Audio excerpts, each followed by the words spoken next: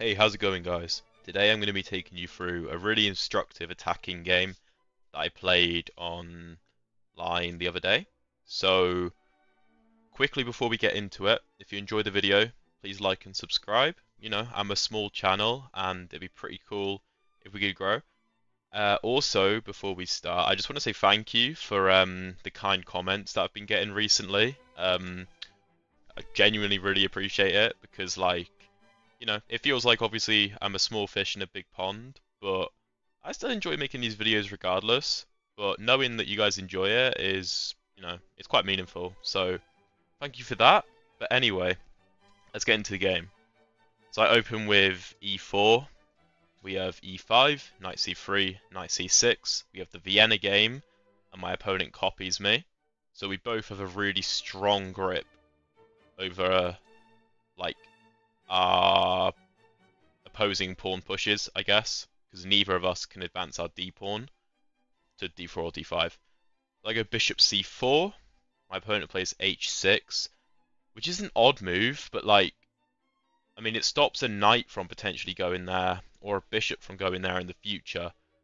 But really, he should probably be trying to develop some of his other pieces or playing d6 to get this bishop out. It's just unnecessary. So I go d3 to open up my dark squared bishop. My opponent goes knight f6. And I go f4, challenging the pawn in the center immediately. My opponent plays d6 to defend, obviously. Um, the say here he plays something like bishop e7. I can maybe take and try and play d4 in the future. But d6 is always a good move just to support the pawn and open the bishop. So I go knight f6, just applying further pressure to the pawn. And my opponent goes knight d4, challenging my knight. Here, I should just take. And according to the computer, this is good. But I opt to castle instead. The reason I do this is because I'm kind of hoping for a situation here where my opponent takes here with the knight, plays the bishop here, and the reason I move my king is so that when my rook is attacked, I can put my rook on the g-file. And I, I love these positions. The computer never really approves of them, but I find it so easy to play. Uh, so I absolutely love them. My opponent isn't so kind, as to play into my hands, and instead he just takes on f3. And here it's not quite the same if I take with the g-pawn, because previously, I'd because my bishop had played bishop g4, I was able to move my king to h1 to free up the g1 square for my rook. But here after bishop h3, I have to move my rook, and it's not getting to the g-file, and it's kind of stuck behind two pawns, so it's not as useful and that's why I instead take with the queen, right? If I take with the rook, obviously bishop g4 skewers my rook to my queen. So, all that to say queen takes f3, bishop g4 anyway, attacking my queen, and I put my queen on g3. There's no ideas of the knight coming to h5 because then the bishop will be hanging. And also if the bishop moves, the g-pawn could be weak in the future. So I was really happy with this position. My opponent takes, and I take with the bishop. Again, there's no idea of knight to h5 with a fork because the bishop's hanging. Here my opponent plays g5. And I was trying to calculate various sacrifices to remove the defender of the bishop because the knight is defending the bishop and if I take here, then I open up an attack on the knight of my rook, and then I win the bishop. But none of them worked, because in this um, variation, the material comes out to me being down in exchange for a pawn. And you could argue that I'm going to get my rook to the f-file and target f7. But I thought even after a move like rook h7, this doesn't really work. Maybe knight d5 here is winning or whatever, but it's it's it's not very simple. and I'm down in exchange for no real reason. Like, there's no reason for me to go down in exchange. So I just play bishop e3, and I threaten the same thing, where if he makes a nothing move, bishop e7, I'm going to go up two pieces for a rook, because I'm going to remove the defender of the bishop. Which is why my opponent plays bishop h5, so that the bishop's no longer under attack. Here I go bishop d4, which I was a big fan of. The computer kind of likes e5. It prefers bishop d4. e5 makes a lot of sense though, and I didn't really consider it. But bishop d4 just pins the knight to the rook, and I'm threatening to win it because I've got two attackers to one defender. This is the idea of putting pressure on the pinned piece. And I don't think black can actually save it. Because after he goes bishop g7, sure, he has two defenders to two attackers. But the knight is still pinned. Because if the knight moves, the bishop hangs. And because he put his bishop on h5, the knight can't move to h5 to defend the bishop, and he can't go to, D to e8 to defend the bishop. So it's still pinned. So here I go knight d5, just attacking the knight again. And here I calculate that after knight takes d5, if I take the knight, then he takes here, and I'm down a piece right? Because he took my knight and my bishop. My bishop. So I instead go bishop takes g7, which means that the rook's hanging and the knight's hanging. He goes rook to g8. And here I can do this, but I decide that my bishop is incredibly strong, so I want to preserve it. I go to d4. I don't go to c3, because then the knight could take it, which is the same reason I don't go to f6. And my point is, if c5 is played, I'm not going to take the knight. Um, my plan, I believe, was to drop my bishop back, just to preserve the bishop. Or the computer wants something like queen h3. I don't know. Or I could even do this, which I, I was between doing this or going to f2. But I didn't have to make that decision because my opponent just retreats his knight. And the important thing is, the knight struggles to actually advance into my position. The only viable move, the viable square, is f4, which doesn't work because there's a pin and the rook hangs, right? So he goes to b6, just retreating and because he's attacking my bishop, I drop it to b3. And we have this classic, like, geometric positioning of the knight and the bishop, where there's two squares between them, and all the knight's forward moves are controlled by the bishop. This is often referred to as domination. So the knight's going to struggle to get back into the game, which is why I liked this position so much, and why I played knight to d4, d5 in the first place. My opponent goes queen e7, preparing to queenside castle, but I know that he can't queenside castle, because if he does, then bishop f6 skewers the queen and the rook, which will end up on d8 if he castles. So I go queen h3. The idea is to cut off black's ability to castle and attack the bishop, and if the bishop moves, attack the h6 pawn. Taking on h6 could be risky, after bishop g6, I do take it. It could be risky because you're thinking, if black manages to castle queenside, rook to h8 looks scary. But his bishop always controls h8, and there's no way for black to actually get rid of this bishop.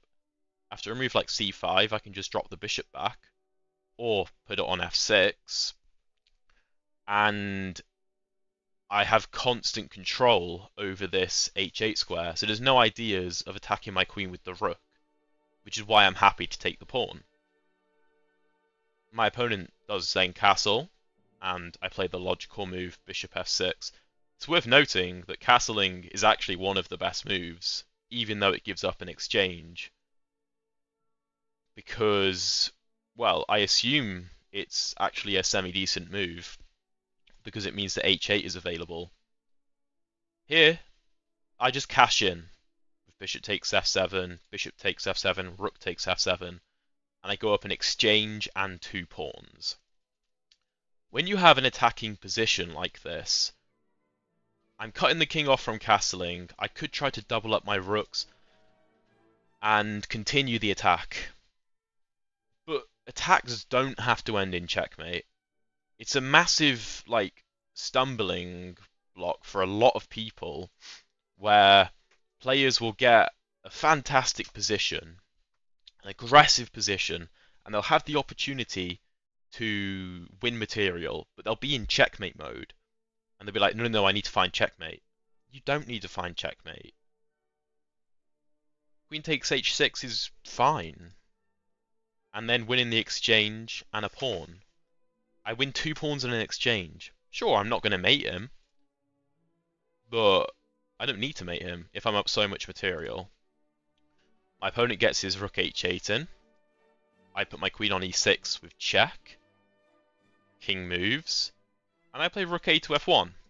I'm dominating the f file, and if this rook moves, then rook to f8 will win the queen.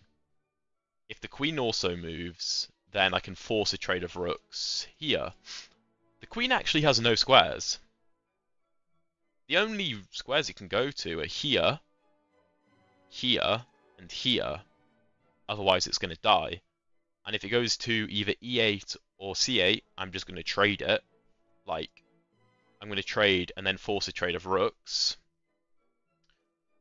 And if it goes to g8, I mean, I'll probably just put my queen here, threaten checkmate, um, and also threaten rook to f8 because my queen now controls that square too. So my opponent plays a5 to give his king an escape square, which is logical. I go queen f6, attacking the queen, attacking the queen, attacking the rook, and threatening rook to f8.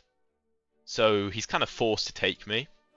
I take with uh, the rook on the first rank so that I maintain pressure on the 7th with the other rook. My opponent goes rook h4, trying to get his rook into the game and avoid a trade of rooks on the back rank. And I play g3 just to kick it he goes to h5, and I bring my king up. My idea is to restrict this rook as much as possible by controlling as many squares uh, that it can move to as I can. So he goes a4. He needs to try and break apart my pawn structure and get his knight into the game if he's going to have a chance here. So I play a3 to stop this pawn advancing. g4 is played to open the rook up. I just go rook g7 attacking the pawn, and he can't defend it. So he goes rook c5, attacking my pawn. I play c3, which is a lot better than rook to f2, in my opinion. Because here the rook's passive, and this pawn is still a weakness. Whereas if I go c3, the pawn is very well defended. And after rook to b5, here, I'm not so sad about playing rook to f2, because with c3, d4 is a defended square, and I can go for an e5 push. Or, I can just take this pawn and run the h-pawn up, right? It's completely winning, realistically. So, yeah, c3, d5, with the idea of trying to get his knight into the game. I take on g4, he takes, I take with the rook to keep my pawns together. He plays knight d5, attacking my rook. And there are a few tricks here. You know, if rook f5 is played, then knight e3 check. Forks the king and the rook, and after rook takes, rook takes rook.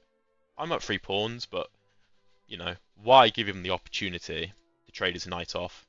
Instead I go rook f8 check to get my rook off of this vulnerable forking square and then play rook e5 because the knight goes here.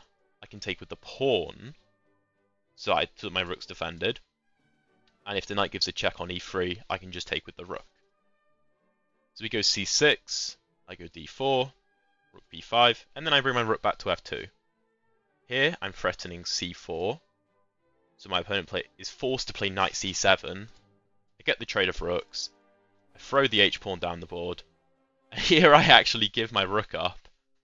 And I don't even take the knight back. I just push again because I'm going to get a queen. I do the exact same thing here. Just get another queen. And swiftly deliver checkmate. There's no reason to really look through that particularly far. It's just an easy conversion. But it is worth noting, like, I have kind of low time. I have 20 seconds. There's no point me, like, worrying too much about my rook being taken. I can just promote, and I can just promote again, and make it very easy for myself to win this game. So yeah, I just thought this was an interesting attacking game where my opponent's early g5 push just weakened his knight so significantly that after bishop d4, pressure on the pinned piece, he can't really do anything. He's forced into this horrible position where he's pushed all the way back, his king's struggling to find safety, and I just win a bunch of material and convert the endgame very easily. Um, there's a few tricks with the knight coming to d5, but I just avoid them, promote, and deliver a very swift checkmate. So I hope you guys enjoyed. If you stayed till the end, please drop a like and subscribe if you haven't already. It would mean a lot to me. But with that being said, have a good one, guys.